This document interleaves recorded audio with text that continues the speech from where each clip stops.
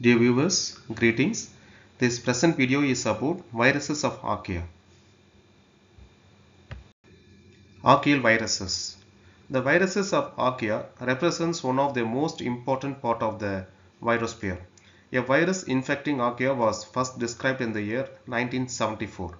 Uh, viruses are among the most abundant biological entities on the earth, outnumbering cells in some environments by uh, more than an order of magnitude and viruses of archaea which is usually termed as uh, archaeal viruses are some of the most unusual and least understood group of the viruses.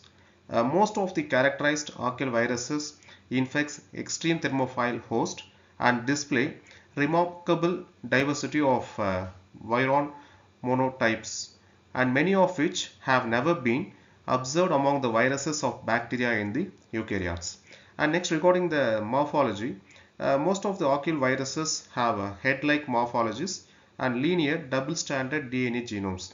And other, other morphologies uh, which also uh, have been described including spindle-shaped, rod-shaped, filamentous-shaped, icosahedral shaped and spherical shaped. Next is double-stranded viruses that is the DNA viruses infecting the archaea. Archaea can be infected by double-stranded DNA viruses that are unrelated to any other form of viruses and have a variety of unusual shapes. Double-stranded DNA viruses have been studied in the most detail in thermophilics, particularly the order of sulfolobales and thermoproteales. Uh, some of the double-stranded DNA viruses infecting the archaea are First one is the bacteriophages. Bacteriophages are the viruses that infecting the bacteria belonging to the families of Tectiviridae and Corticoviridae have a lipid bilayer membrane inside the icosahedral protein capsid and the membrane surrounds the genome.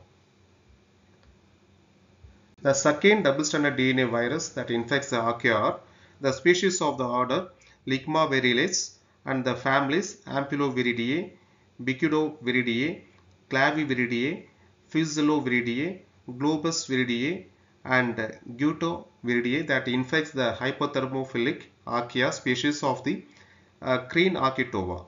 And the third one is the species of the genus uh, Salterprovirus that infects the halophilic archaeal species of the Euryarchaeota.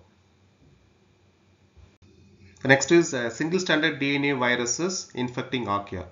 Two groups of single-stranded DNA viruses that infect the archaea have been recently isolated.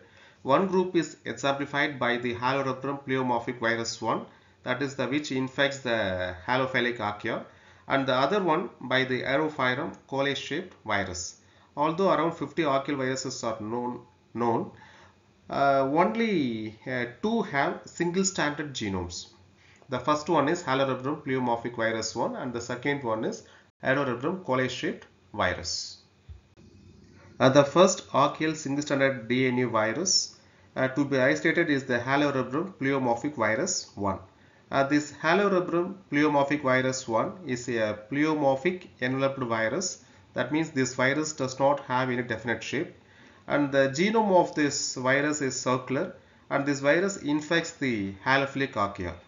The defenses against these viruses may involve the RNA interference from uh, repetitive or repeative DNA sequences that are related to the genes of the viruses. Now the second single-stranded DNA virus infecting the archaea is Aeropyrum coil-shaped virus. In short form, it is called as ACV. The genome of ACV is circular and with 24,893 nucleotides and is currently the largest known single-stranded DNA genome. Uh, the virus is non-enveloped, hollow, cylindrical and formed a coiling fiber. The morphology and the genome of this uh, ACV appears to be unique. Uh, the Aeropyrum coil-shaped virus has been suggested to represent a new viral family uh, which is tentatively called as Spiraviridae.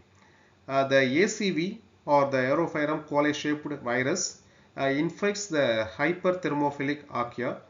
Uh, this, uh, this archaea are the archaea which can able to grow in optimum at 90 to 95 degree Celsius degree in the host.